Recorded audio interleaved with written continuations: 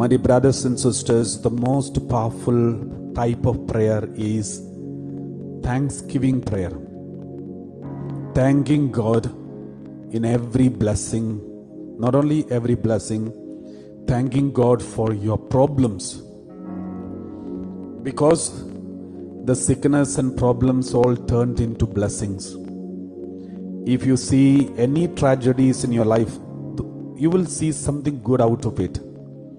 There are blessings out from tragedies and pain and struggles. The best method of prayer which Jesus used was thanking method, thanksgiving method. We should be thanking God for all the tragedies that has happened in our life.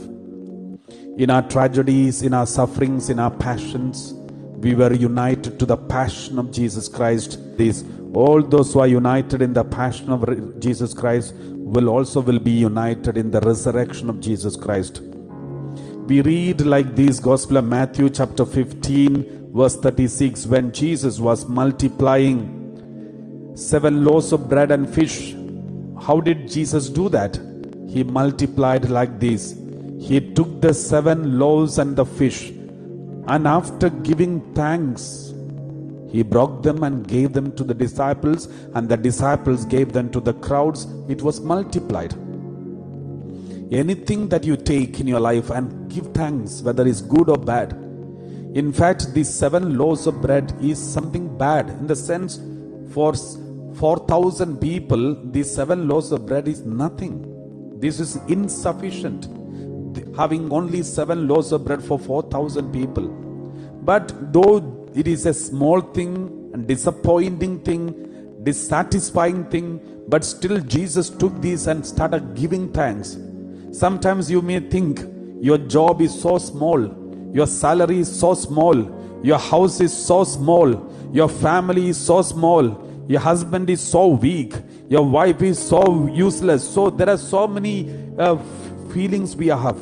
But if you take these life take this husband wife and children family and uh, job and salary money and uh, your bank balance everything and say thank you jesus. We thank you for this job. We thank you for this husband. He is the best gift you have given me. You, she is the best gift you have given me. I thank you for giving me this husband. And with all his weaknesses, with all his shortcomings, with all his problems, I accept him. And I thank you for giving me this husband for me, this wife for me, this job for me, this house for me. I thank you, Lord. I don't look at anything negative, but I am here to thank you, Lord. When you thank God, and then you will see multiplication, miracles taking place in your life, deliverance taking place in your life.